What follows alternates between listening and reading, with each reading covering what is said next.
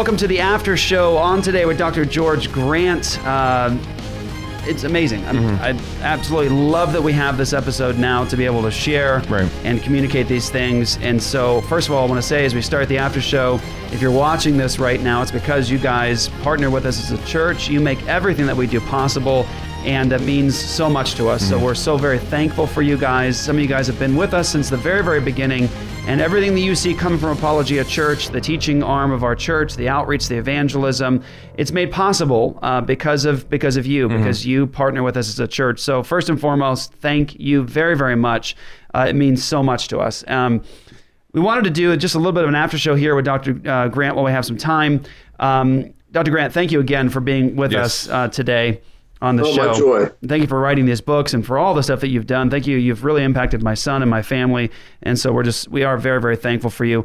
Uh, Dr. Grant, you ended, I think, in the perfect place, and I'm so glad that I I already knew what you were going to answer and how you're going to respond to that, but I'm glad that you did. You talked about the answer is at this point uh, the proclamation of the gospel, and I think that's so important because you mentioned this void where the church sort of steps away from culture and doesn't speak the truth into culture. And so Margaret Sanger leaps into that and just does uh, so much devastation. Um, Yeah. and so here we are now with the result of a lot of her labor and many other people and the things that she uh, was was able to get into uh, into effect. Um, and we have 60 million dead babies behind us and counting. Uh, 3,000 babies a day are murdered in our nation. Planned Parenthood is killing about a thousand of those babies a day. Um, and we often see people in the pro-life movement, Dr. Grant, do just what you said. They'll say things like, "We just need to convince people uh, biologically that it's a human, and then they won't want to kill it," or Right. they argue statistics, or they talk about, you know, uh, cleaner abortion clinics and widening the hallways. Uh, they talk about, you know, that's sort of like, you know, let's let's attack this in a way where we take a backdoor approach. And I'll just mention quickly, Dr. Grant, that uh, last year I was able to get an interview with the vice president of National Right to Life. Um, and he said explicitly in that interview, um, and he wasn't at all ashamed of it. This Right. is just their perspective. He said they don't want to call it murder, Right. and he said they want to take a backdoor approach and not use Christian language. They don't want to use the word of God. Uh, they just essentially want to convince people that it's biologically a human. Can you can you speak to that? Because from from my perspective as a Christian, as a minister of the gospel, that that's not going to accomplish enough to where we change human hearts, where people.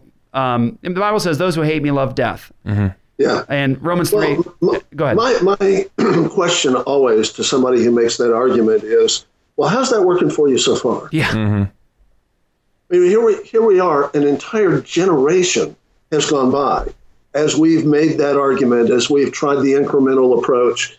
And hey, I'm, I'm grateful for any incremental approaches uh, that uh, that that we achieve. I'm not satisfied with them, Right. and I'm not going to put my effort and energy into those things. Yeah. But I'm, I'm not going to despise the day of small beginnings. Right. I, I appreciate the, the a step by step approach, but uh, in American history, we actually have had a successful pro life movement in the past, in the 1870s Okay. and 80s and 90s Interesting. when abortion was legal, uh, when there were a, a flourishing abortion trades, when um, uh, peddlers were taking abortifacient pills uh, all the way to the to the Pacific uh, from manufacturers in Ohio and New York, and a pro-life movement arose. A coalition of uh, politicians, lawyers, doctors, and pastors, led by the pastors, Yep. um, starting with uh, Brick Presbyterian Church in New York City, uh, and a very, very prominent pro life newspaper in New York City called the New York Times. And Ah, what? together, they transformed the whole picture of medical practice in the U.S., created the American Medical Association, banned abortion, and banned all kinds of other um, lewd and manipulative uh, medical practices. And it was it, it, it was forthright and it was unapologetic in proclaiming the gospel from the start. That's the only time we've seen a successful pro life movement in the history of the United States. But we don't have to stop there. We can go back through the age of Christendom. whenever the horrors of abortion, infanticide, uh, Sartre, um, you know, human uh, sacrifice, any time that that has been overcome as a cultural norm and banned altogether to, to the point that it was altogether taboo, uh, has been when the gospel has been proclaimed. Mm. Yes. The gospel is the only possible answer. Yeah. Wow. So, so I think you hit the awesome. nail on the head there, uh, Dr. Grant. How how important is it that this starts with the churches and you, as you said, with pastors? Yeah, it's got to start from from the pulpits. It's got to start from the way we understand the scriptures. It's got to start from the way we understand what our legacy as Christians are. Uh, it's got to start with our understanding of what missions actually is. Uh, and it's it's got to start there, or it, it's a non-starter. Mm-hmm. So if, if if we put our trust in the political process, in one more Supreme Court judge, and yeah. you know a host of other things that you know the incremental steps that are taken in state legislatures, which again I'm, I'm grateful for for any uh, halt to the bloodletting. Yes. But but hmm. that's not an answer. Right. That that's that's merely a step along the way toward the actual answer. Yeah. So if we're going to have the answer, it's got to start in the church, mm. and it's got to start in a local church that's small and simply is faithful in proclaiming the gospel and changing one life at a time, one disciple at a time, going forth into the world uh, to to affect their arenas and disciplines one at a time. That's the way it's always done. Praise God. Amen. Wow. Yeah, and we agree, Dr. Grant. Yeah. Uh, obviously, we're all very, very grateful for every child that God saves through some incremental legislation, but it's it's in terms of principle, right? Like if right. you if you just fight for that in terms of principle, well then you're losing the whole battle because you're just losing the message. Mm-hmm. You know what's actually right. happening. We're murdering children, right. and you know and, I was, go ahead. I was asked one time by this by the Speaker of the House of the state of Tennessee uh, if uh, a, a, particular measure that they were uh, fighting for, and uh, I was asked to to come and speak, and the, the question was, uh, Dr. Grant, it, will you now be satisfied if we pass this piece of legislation? Will you be satisfied? And my response was, Oh no, of course not. Hmm. it's one step along the way. Mm-hmm. It's a right step. It's a good step, but it's not a sufficient step. Mm-hmm. Right. This is just the start. That's right. That's right. Well, praise Amazing. God. we're grateful for you, Dr. Grant, and we, we're looking forward to doing a lot more with you. And I just want I want you to be encouraged. I know that you uh, you're always very busy and you do mm-hmm. you do so much work and you've invested so much of your life in the kingdom of God and education and, and, and, and proclaiming the gospel and telling the history of God's providence. And I just I just want you to be encouraged. There's so much of your work that has affected us, affected my own family personally, and God is using it to change the world, brother. So keep, well, keep fighting. Thank God bless you. God Lord bless you, brother. Mercy, church have courage. That's right. That's right. Mm-hmm. All right. We'll hope to talk to you soon, brother. Bless you. Thank you so much. God bless. All right. Well, hey, fantastic, right, guys? Yeah. So there you go. So that was Dr. George Grant. Amazing. Everybody, thank you so much for watching. We're going to do what we can to get uh, the information from from this into. Um, hands of, uh, of, as many people as possible and before yeah. as many people as yes. possible. Encourage you, truly encourage you guys uh, to get Killer Angel. Uh, you can get it at kingsmeadow.com. You can, of course, also get it on Amazon. Uh, it's, it's not a very, very big book, so it's not overwhelming. Uh, my son Sage, he read it. He said it was very, very good. Hey, what do you, what about that situation with the pro-life movement in the 1870s, yeah, 80s, and 90s? I didn't know that. New York Times. What's up, New York Times? American Medical Association. Sounds like the New York Times needs to repent. Sounds like Christianity has changed your world, right? Hey, what? but amazing. here, okay. Can I just let's just finish with this thought? How crazy is it that we're always talking about that? We're always talking about like you have Oxford, Cambridge, Yale, mm-hmm. Harvard. Now you hear about New York Times, American Medical Association, all like the work of Christians right. in mm-hmm. history, right? Mm-hmm. And you go, what in the world happened? Because mm-hmm. now you don't see the New York Times as the bastion of things pro-life and Christian, right? Right, and um, but but th- th- this is these are gifts that Christianity, the church, gave to the world. Right. And look, and the, where we're at now is this complete revolution has taken place, all these institutions that the church built uh, taken over. Right. And I, I think that just that says so much. And I and I hope I hope I do hope I hope in some measure what God is doing doing through ministries like Dr. Grant's and Apologia Church is is is really planting those seeds. And, I- and Yeah, I I, do think we're starting to see the buds, like little things, like coming out. Right.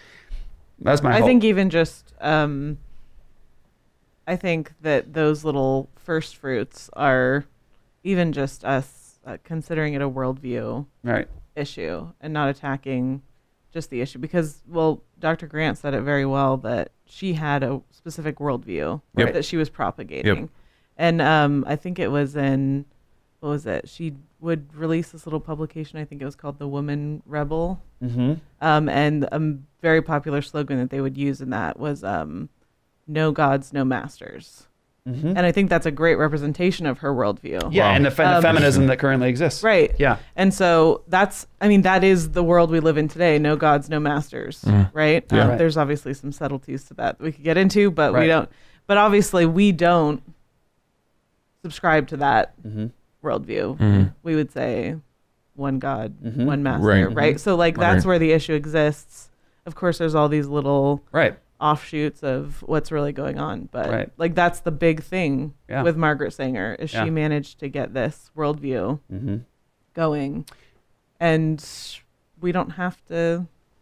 We don't have to abide by that worldview. We Right. don't Yeah. believe it. It's Right. not. It's not true. so here's something that brings me encouragement because you know there's just no question. I know what God says He's going to do in the world. I know it says that Jesus is going to win, and I know that no one can thwart God's kingdom and His sovereignty.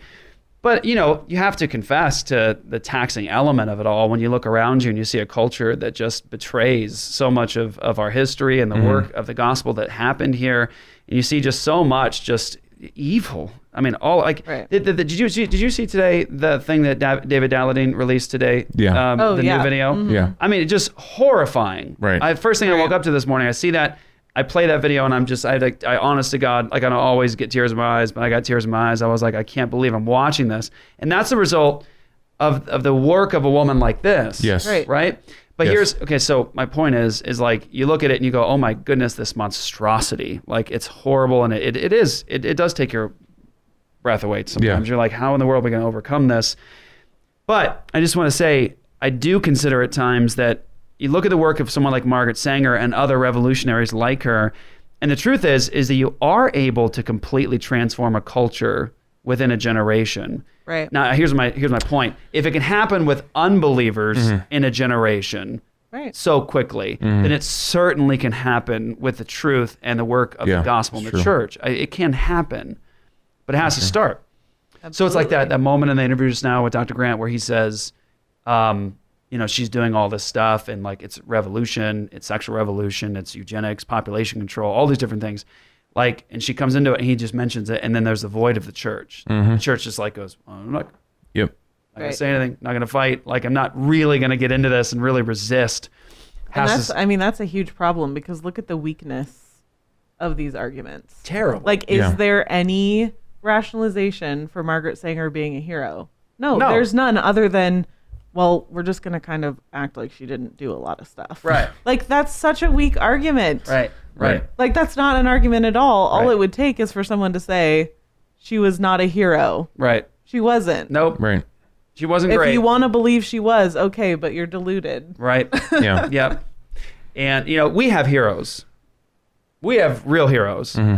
And and she is celebrated all the time. Hillary Clinton, that's my hero. Every year the award. Which Um, I just don't and- understand. Is there like some shortage of reproductive rights heroes? Like, why could they Well, can't no. find anyone else No. other than a racist? Well, no, and it's it's interesting. Like now that you mentioned it, she was friends with Nazis. Shortage. well, it's like, and and it's uh, so we'll talk. Uh, we'll finish. I guess we'll finish with this thought. So I'm reading this book right now by uh, Dr. Willie Parker. He is uh, the most famous abortionist in, in the world. Um, he says in his book he sees as many as 25, 30 to 50 women a day. He travels from like Alabama, uh, Mississippi, and Georgia. He's an itinerant abortionist, and so he goes back and forth. Well, this is his book.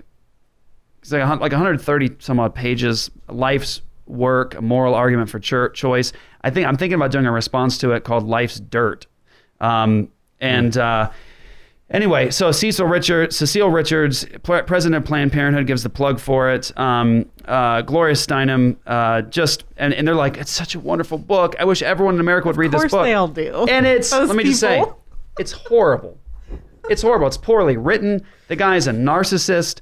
Uh, he's just praising himself throughout the book, and he thinks he's a martyr. And and these are their heroes. These are their heroes. This this guy. Right. I've listened to hours of the man uh, talking now, and um, and these are their heroes. And let me just say right now, they're not giants. They're not. Yeah, no gods, no masters does Mm-hmm. Right. not play out Yeah. long term. Right.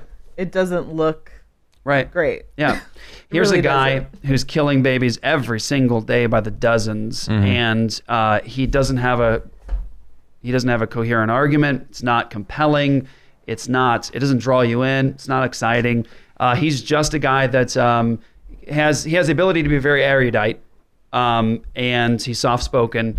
Uh, he, he's a good looking man, handsome guy, salt and pepper beard. You know, older guy in his fifties, black guy, uh, and and so they go, oh, there's a guy that can represent us. Here's a guy that murders babies on the daily, Right. and he seems so pleasant, like and winsome. And so there's our hero, right? And he's just he's awful and not impressive. Let me just say it. Right. What's funny, Joy, you mentioned there's like a shortage of, Right. you know, and and remember the second to last video that Daleiden released? They were at the George Tiller Oh. like memorial dinner. Right. You know, here's a here's a guy an abortionist that was uh, murdered, and so they had a memorial dinner for this guy who, you know, like Willie Parker was one of the most famous abortionists, and it's just yes. so backwards. Right. Yeah. And them being a hero is reliant on people just pretending a bunch of stuff doesn't happen. Yep. Or ignoring bad arguments. I don't know. Like what constitutes a hero these days? You agree with me, you tell me what I want to hear. You're my hero. Right. That's not a hero. That, that's right. Even, that's exactly right. even literally speaking, the word does not mean like you just agree with you say what I say, you do what I want. It's an echo chamber, so Uh, you're my hero. Yeah, no, Right. it's just it's ridiculous. Yeah, you know, I'll be I, I'll be honest. I got the book and I thought there's some potential stuff in the future that might happen, and so I was like, well, I need to read this man this man's arguments and be ready for it. And and I have to say, thoroughly, and I don't mean this in any braggadocious Right. way, or I'm not trying to be nasty or mean spirited, but thoroughly unimpressed. Hmm. Right. There you feel prepared. there's nothing to, to deal with. It's just Yeah. literally the most adolescent, elementary level kind of arguments, and it's just poor. And my thought is only the judgment of God could allow something like this to happen. That a man like this could kill this many babies a day and could be this uh, well-known author and hero to this movement, and it's nothing. I mean, a woman woman spoke in one of his things almost in tears of how grateful she was for his work and his talk and how it really moved her. And I'm like, wow. There's really the bar is not set very high, guys. No. so the church just needs to get involved. Not only do they approve, but they applaud. That's right. That's right. All right, guys. So again, thank you so much for um, everything you're doing uh, to make everything we do possible. So thank you very, very much. Thank you for those of you guys that have been with us again from the very beginning. Uh, everything you guys do uh, means so much for us, uh, to us. So, so thank you. Uh, let somebody know. Uh, by the way, we are right now working on Apologia Studios, the new website. It is actually underway. We're nearing the tail end of that work now. So, Apologia Studios, the page itself is going to get revamped and it's going to be easy to access and just very, very pleasing to look at. And so lots of stuff happening there. Let somebody know about Apologia All Access. Tell them to sign up, guys. We have lots more really great content planned for this next year. Uh, I won't announce uh, something very special next, but it's underway right now. Discussions are underway for a really great new academy that I think will bless your life. So uh, that's happening. And uh, thank you. So, Joy the Girl, Luke the Bear, Peace out. Marcus King Ginger. Thank you to um, our, uh, to Gabe and to Carmen for all that they do uh, doing the cameras. You guys never see them or get to really acknowledge them, but they're here, and so thank uh, thank you guys for your work. And we'll catch you guys next week on Apologia TV.